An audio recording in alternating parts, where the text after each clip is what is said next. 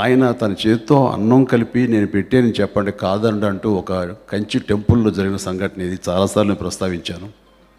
ఆ రోజున ఎంతగా నేను కరిగిపోయానంటే నేను లేవగానే అన్నం పెట్టి నేను తినమన్నారు. నేను తిన్న కదా నాగేశ్వర గారు వద్దు నాకు నేను తిన్నాను ఇది నాది మేము పెట్టింది కాదు బాబు మాకు తెలుసు మేము అడిగితే నువ్వు తినవు. అది విశ్వనాథ్ గారు ఆయన చేతుల మీదుగా కలిపి పెరుగన్నం కలిపి పెట్టారు. చెప్పండి నేను కలిపానని చెప్పండి అనగానే ఎలా ఎలా కాదంటాడు అని అన్నగా అన్నప్పుడు నిజంగా ఎలా కాదనగలను?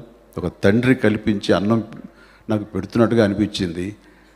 కన్న నీళ్ళతోటి నేను ఆ ప్రేమకు కరిగిపోయి ఆ అన్నాన్ని ఎంతో ప్రసాదంలాగా ఆ టెంపుల్లో తిన్నాను. ఆ సాక్షాత్ ఆ శివుడు నాకు అందించిన ప్రసాదంలా ఫీల్ అయిన క్షణాన. శంకరాభరణం విశ్వనాథ్ గారు ఆఫ్టర్ శంకరాభరణం లాగా ఆయన జాతీయ అంతర్జాతీయ స్థాయికి మన తెలుగు ఖ్యాతిని తీసుకువెళ్ళి ఇక్కడ సత్సంప్రదాయాలను కానివ్వండి మన ఈ యొక్క కల్చర్ని తీసుకెళ్ళి గొప్పగా ప్రజెంట్ చేయడం అనేది ఎంత ప్రౌడ్ మనందరికీ.